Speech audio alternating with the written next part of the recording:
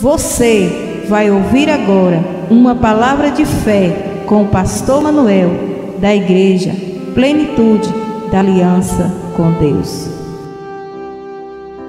Santificação pelo Espírito, santificação do Espírito, santificação pelo Espírito e santificação do Espírito. Segundo Tessalonicenses capítulo 2, versículo 13. Mas nós devemos sempre dar graças a Deus por vocês, irmãos amados, pelo Senhor, porque desde o princípio Deus nos escolheu para serem salvos mediante a obra santificadora do Espírito e a fé na verdade. Aleluia. Então, é, nós devemos sempre dar graças a Deus por ter nos escolhido, nos chamado. Está escrito na palavra do Senhor, em João, não foi vós que me escolheste, mas eu quem escolhi vós. Então, nós devemos sentir privilegiados, porque o Senhor nos chamou, né?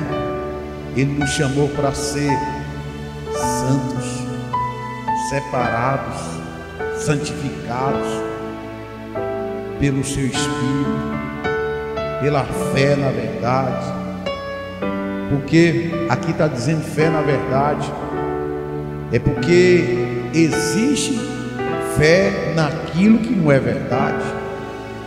Existe pessoas usando a fé em algo que não funciona, em algo que não é verdadeiro. Por isso que aqui está dizendo a fé na verdade. Quem é esta verdade?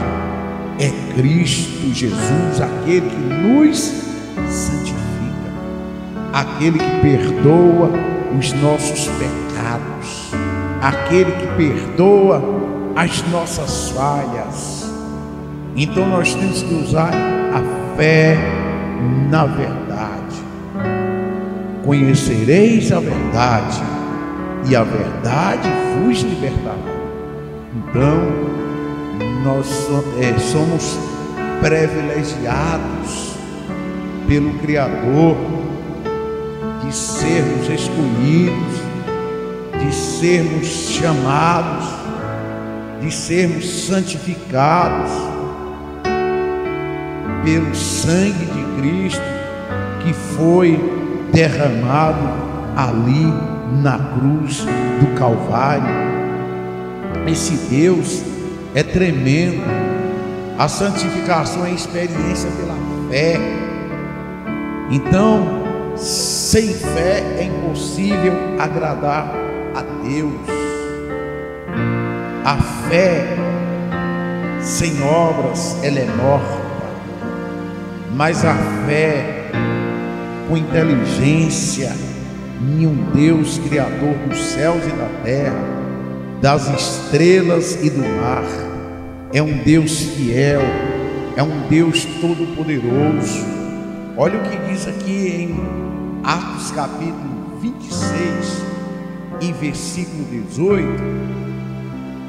para abrir-lhes os olhos e convertê-los das trevas para a luz e do poder de Satanás para Deus a fim de que recebam o perdão dos pecados e herança entre os que são santificados pela fé em mim. Aleluia, pela fé em quem? Em mim, em Cristo Jesus. A fé verdadeira, a fé que remove montanhas, a fé que traz resultado, a fé que liberta, a fé que transforma. Então, é, para convertê-los das trevas para a luz. Jesus é a luz. E a luz ela brilha. Aonde a luz chega, ela brilha. A luz ela tem que estar em mim e em você contra o, o, o poder, as ciladas do diabo. Sabe? Você tem que estar na luz. A luz tem que resplandecer. Porque quando a luz resplandece, o diabo ele tem que bater em retirada. Ele tem que bater em retirada, ele tem que sair fora. Porque você tem o Senhor Jesus como a sua luz que lhe guia, que lhe orienta. Você não anda nas trevas, você não anda na escuridão. Jesus é a luz que brilha em você. Que é a luz de Cristo que brilha em você em qualquer lugar que você chegar.